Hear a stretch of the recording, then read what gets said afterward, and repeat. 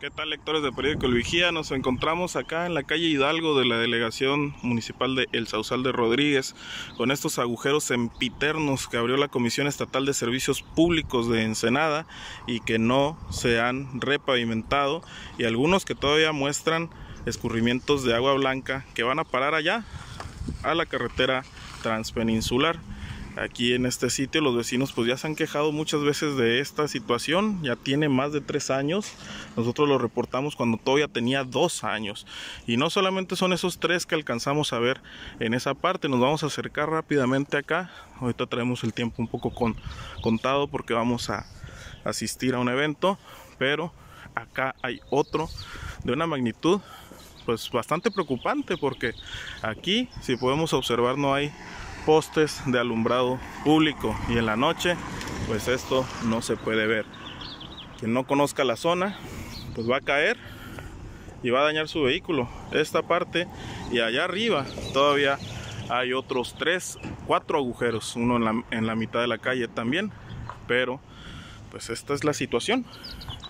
Cuando nosotros venimos a reportar solamente estaban los que les mostramos al principio los tres de la parte baja de allá pero ahorita ya tenemos más.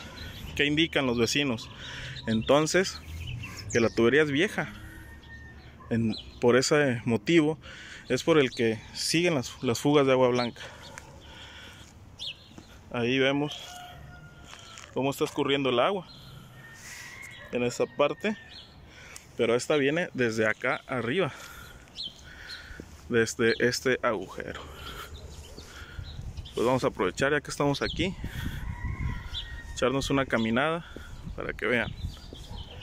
Aquí está la fuente de agua al igual que esta y que terminan impregnando la carpeta asfáltica de la carretera transpeninsular aquí en el Sausal de Rodríguez ¿Qué piden los vecinos?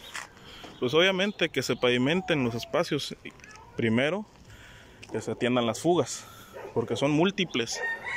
Acá también hay más, miren. Y de la parte de allá arriba. Esto, la tubería entonces, pues ha cumplido con su tiempo de vida. Es lógico y es notable. Así estamos informando desde el Sausal de Rodríguez. Es la calle Hidalgo con tercera. Esta es la avenida H aquí donde andamos ya en esta parte de arriba pero así es la situación. Seguimos informando que tengan buen día.